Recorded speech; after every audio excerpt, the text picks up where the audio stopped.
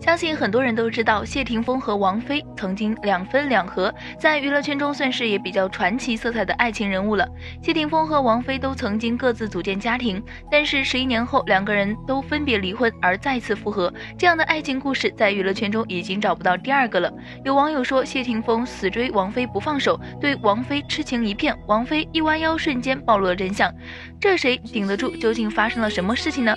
据悉，谢霆锋和张柏芝离婚后，两个孩子都判给了张柏芝，于是谢霆锋重新开始追求王菲。两个人在一起之后呢，也收到了很多网友的祝福。很多人觉得两个人再次团聚非常不容易，这份爱情来之不易。从一些细节当中就能看出谢霆锋有多喜欢王菲了。王菲和谢霆锋出席一次活动中，王菲弯下腰的瞬间，谢霆锋赶紧上前帮忙，这也能够看出两个人的关系。